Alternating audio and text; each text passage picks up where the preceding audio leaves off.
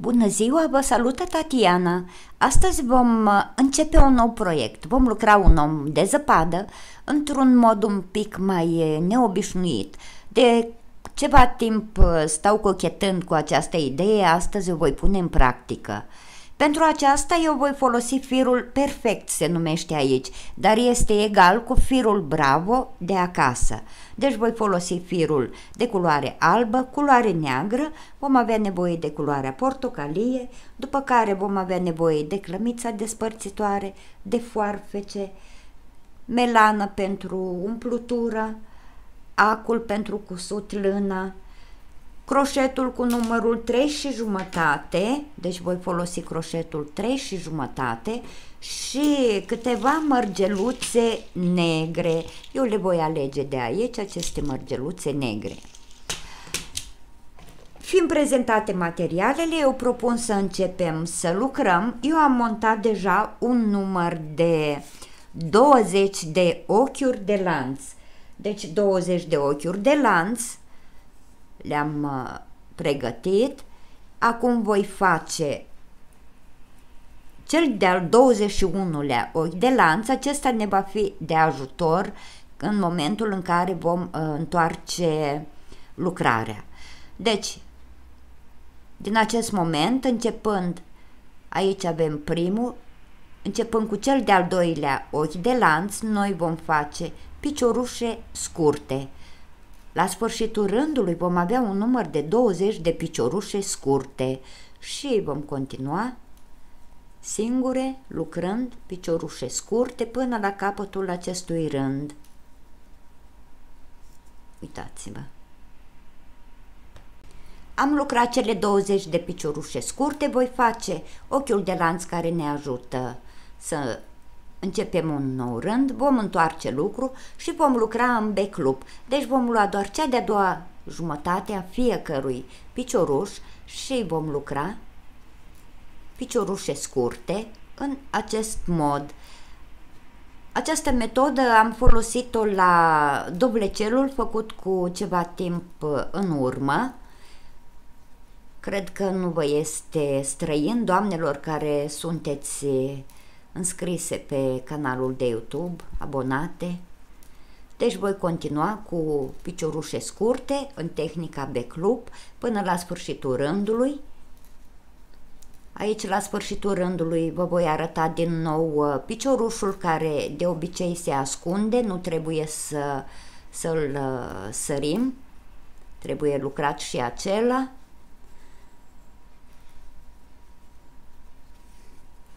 Aceea v-am spus, este o idee inovativă cu acest uh, om de zăpadă, nu l-am văzut nicăieri lucrat în această metodă. Încet, încet ajung la sfârșitul rândului. În momentul în care vom ajunge la sfârșitul rândului, așa cum vă spuneam, trebuie să fim atente aici la ultimul picioruș, care de obicei are tendința de a, a se ascunde de desubtul uh, piciorușului, uh, de desubtul ochiului de lanț, care ne ajută să întoarcem lucrarea. Deci am ajuns la capătul rândului, am lucrat și acel uh, picioruș, am făcut ochiul de lanț, iar acum mă voi întoarce din nou în tehnica Beclub, vom merge înainte și înapoi până când vom obține un număr de 17 rânduri în relief. Deci 17 rânduri în relief le vom lucra singure, deja primul uh, se formează, iar noi vom continua. Am ajuns la sfârșitul acestui rând, așa cum vă spuneam, acest picioruș trebuie să-l lucrăm. Îl vom lucra aici, este ultimul ochiul de lanț, vom întoarce lucrarea și din nou vom merge înainte și înapoi, așa cum vă spuneam, lucrând 17 rânduri în relief. Noi vom lucra singure și ne vom reîntâlni. Eu am lucrat cele 17 rânduri ale mele, acum voi face ochiul de lanț, voi întoarce lucru și voi face piciorușe scurte, însă voi lua fiecare picioruș în mod normal. Înainte și înapoi, în felul acesta, noi vom face 5 rânduri de piciorușe scurte. Apoi veți vedea de ce facem uh, aceste piciorușe scurte. Deci vom continua cu picioruș scurt normal până când vom ajunge la sfârșitul rândului. Încet, încet.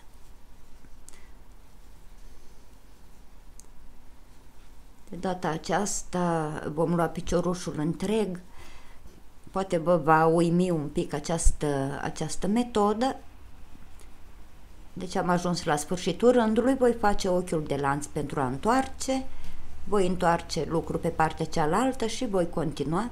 Deci aici este primul picioruș, voi continua cu piciorușe scurte. Așa cum vă spuneam, vom face un total de 5 rânduri, iar noi ne vom reîntâlni Lucrate cele cinci rânduri de piciorușe scurte, vom pune lucrul în două și vom uni cele două părți cu piciorușe scurte. Deci voi intra în corespondența primului picioruș de aici, voi face la început fir alunecat pentru a le uni, după care picioruș cu picioruș voi închide cele două părți în felul acesta. Dacă doriți și vă este mai ușor, puteți face chiar fier alunecat. Deci vom continua în acest mod.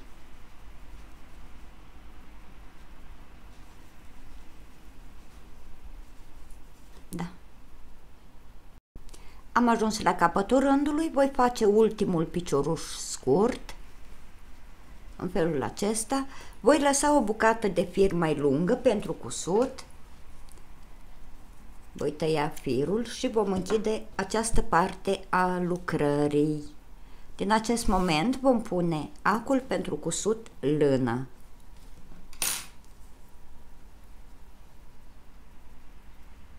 Și vom începe să coasem. Deci, ținând lucrul așa, voi intra în corespondența fiecărui rând ca și cum aș însăila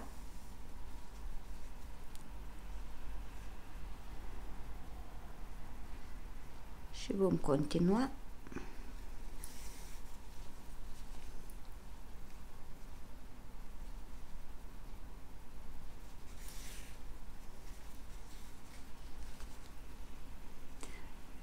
Am ales această opțiune pentru că este foarte ușor de realizat nu este atât de mult de numărat precum uh, la Omul de zăpadă Amigurumi. Pe pagina canalului cred că veți găsi uh, două tutoriale din anii trecuți cu Omul de zăpadă. La fel veți găsi alte două tutoriale cu Moș Crăciun din anii trecuți. Am ajuns aici, la capătul rândului.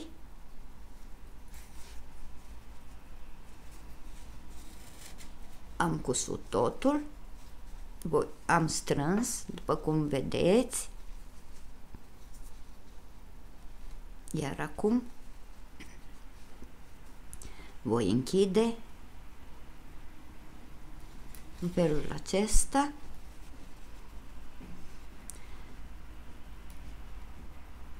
Și voi scurta firul.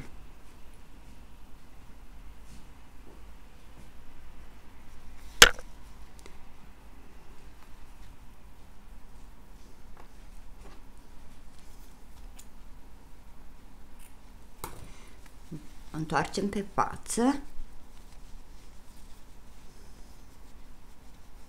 Sigur. Aici pe fund vom pune o bucățică de carton.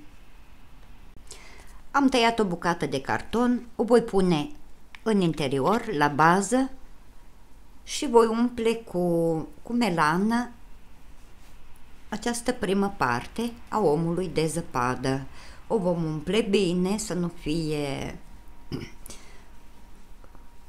goluri. După ce am umplut, vom lua din nou acul cu ață și vom coase și această parte de deasupra. În același mod, voi da aici două cusături pentru stabilitate și în același mod voi coase și partea superioară. Încet, încet, cu atenție.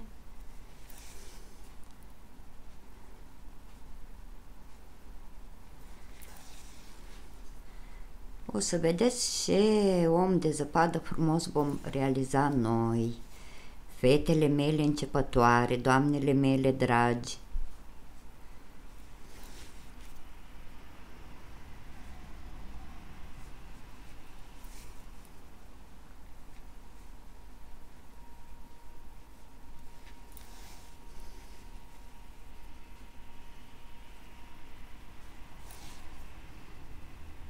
Încet ajungem la capăt. Ia uitați-vă, suntem deja. În momentul în care am ajuns aici, vom strânge bine partea de deasupra. Eventual, dacă este nevoie, acum avem ultimul moment în care să adăugăm melană. Deci vom adăuga din nou un pic de melană pentru a-i da o ținută cât mai, cât mai bună Ia uitați-vă în felul acesta.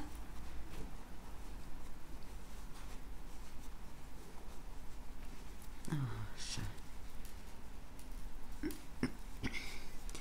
Ajuns aici, în acest punct, voi strânge bine și voi, voi închide această parte a lucrării.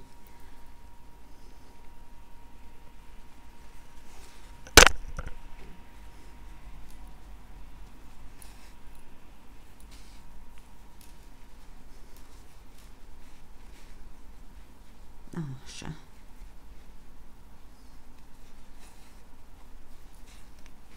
Am lăsat camera foarte, foarte jos să se poată vedea bine ceea ce eu uh, lucrez. Vom scurta firul. Vom aranja din nou cât, uh, cât mai bine și astfel am realizat prima parte. Partea unde am uh, lucrat uh, piciorușele scurte va veni în față. În același mod vom lucra și uh, partea a doua. Eu uh, l-am lucrat deja să nu pierdem timpul. Am plecat pe 17 ochiuri de lanț plus 1. Am făcut un număr de 12 piciorușe 12 rânduri în relief, după care am făcut cele 5 rânduri de piciorușe scurte. Deci aceasta este partea a doua, partea a doua care va veni apoi cu sută aici. Vom ansambla la urmă, voi trece să lucrăm căpușorul. Pentru căpușor, în cercul magic, voi pleca cu 6 piciorușe scurte, acesta primul nu îl socotim. Începem 1, 2, 3, 4, 5, 6. Vom închide cercul magic. Vom închide rândul cu fir, cu fir alunecat în corespondența primului picioruș și vom continua lucrând în corespondența fiecărui picioruș o înmulțire, deci la sfârșitul acestui rând ne vom întâlni cu un număr de 12 piciorușe scurte.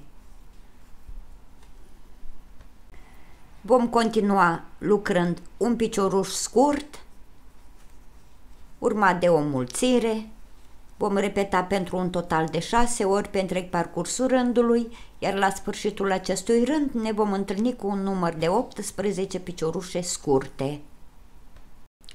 Vom continua lucrând două piciorușe scurte, 1, 2, urmate de o mulțire.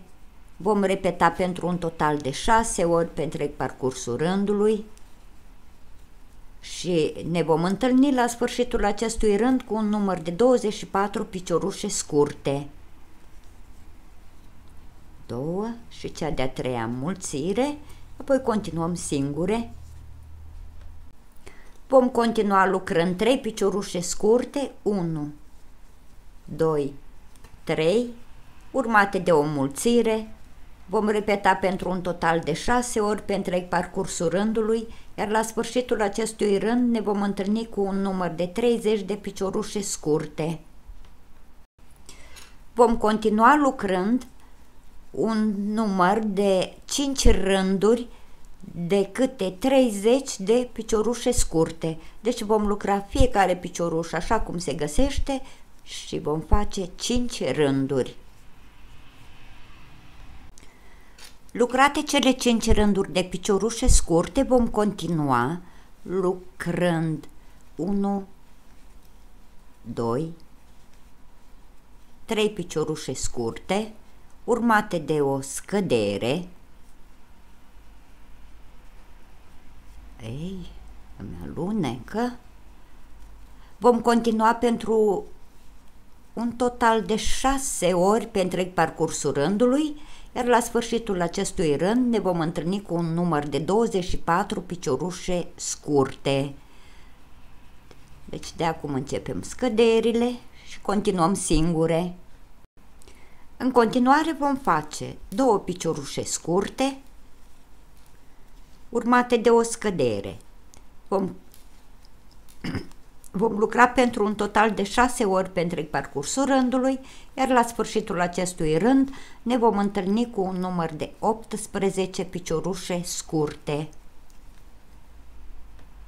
Pentru rândul următor lucrăm un picioruș scurt, urmat de o scădere, Vom repeta pentru un total de 6 ori pentru parcursul rândului, iar la sfârșitul acestui rând ne vom întâlni cu un număr de 12 piciorușe scurte.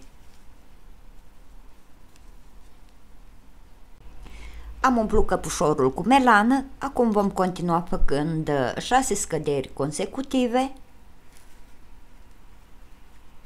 În felul acesta ajungem și la finalul acestei părți.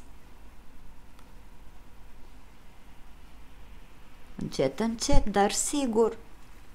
Bine, mai avem un pic de lucru, că trebuie să mai facem năsucul, pălăria. După ce am lucrat aceste scăderi, vom folosi din nou uh, acul pentru cusut lână și vom închide această parte voi scurta firul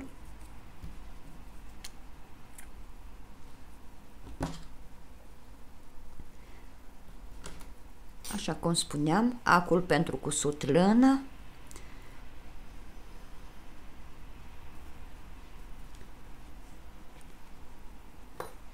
și voi începe să cos, voi prinde doar prima jumătate a fiecărui picioruș.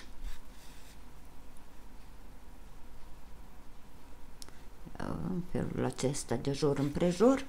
Apoi voi strânge bine, iar capătul de fir îl voi ascunde în modul în care să nu se observe, după care îl vom scurta, bineînțeles. De fapt, n-ar trebui să-l scurtăm și nici să-l ascundem prea mult, deoarece vom avea nevoie pentru a coase căpușorul. Vom lăsa acest fir mai lung. M-am uh, pierdut un pic aici în timp ce, ce lucram. Așa, de acum uh, va trebui să realizăm uh, pălăria.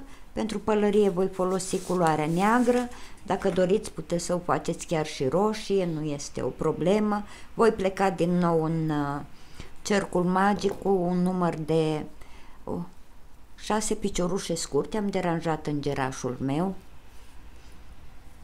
Voi face șase piciorușe scurte. 1 2 3 4 5, 6, voi închide cercul magic, voi închide rândul cu fir alunecat în corespondența primului picioruș, voi continua lucrând în corespondența fiecărui picioruș câte o mulțire. Astfel, la sfârșitul acestui rând, ne vom întâlni cu un număr de 12 piciorușe scurte.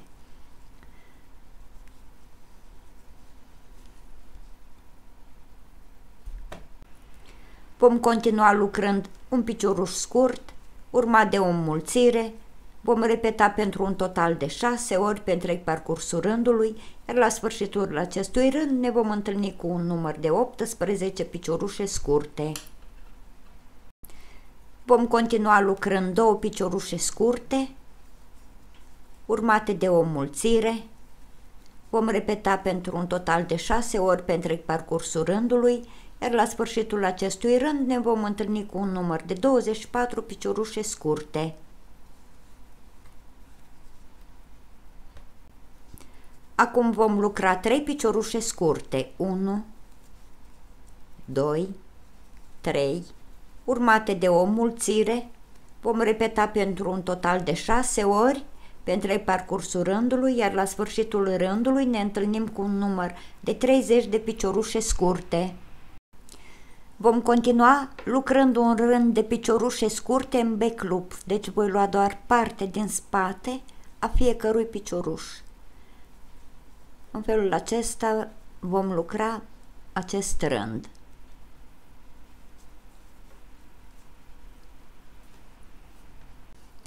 Vom continua lucrând piciorușe scurte în mod normal, deci vom lua întreg ochiul, întreg piciorușul și astfel vom face patru rânduri de câte 30 de piciorușe scurte. Iar noi ne vom reîntâlni. După ce am lucrat cele patru rânduri de câte 30 de piciorușe scurte, vom continua lucrând un picioruș scurt, în următorul o mulțire un picioruș scurt, în următorul o mulțire. În felul acesta vom lucra pe întreg parcursul rândului. Odată încheiat și acest rând, vom continua lucrând patru rânduri de piciorușe scurte. Deci picioruș cu picioruș, așa cum se găsește, vom lucra patru rânduri. Am ajuns și la capătul rândurilor. Acum voi scurta firul și vom închide acest rând. De asemenea, vom închide și această primă parte. Ne vom uh, reîntâlni pentru a continua. Avem încă de lucru, de aceea vor fi două tutoriale ascund capătul de fir în modul în care să nu se observe, la fel veți face și dumneavoastră. Dacă v-a plăcut ceea ce v-am uh, prezentat până acum, vă rog să lăsați un like, un comentariu, îmi face, îmi face deosebită plăcere când uh, văd uh, nume noi care lasă un comentariu pentru mine este o frumoasă realizare și de aceea doresc să vă mulțumesc tuturor. Așa cum spuneam, ne vom reîntâlni cu partea a doua, iar eu mă despart de dumneavoastră acum cu aceleași cuvinte. Vă îmbrățișez, vă iubesc pe fiecare dintre dumneavoastră, vă mulțumesc și vă salută Tatiana. La revedere!